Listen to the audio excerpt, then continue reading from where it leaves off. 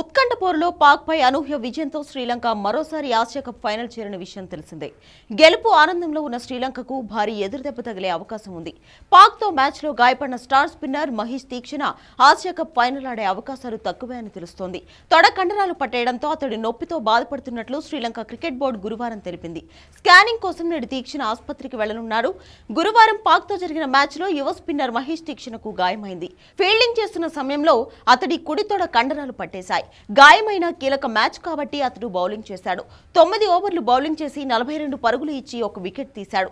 స్పిన్కు అనుకూలిస్తున్న కొలంబోలోని ప్రేమదాస మైదానంలోనే ఆదివారం టీమిండియాతో ఫైనల్లో శ్రీలంక తలపడనుంది. ఈ సమయంలో కీలక స్పిన్నర్ అయిన తీక్షణ గాయపడడం లంక జట్టులో ఆందోళన రేగిస్తుంది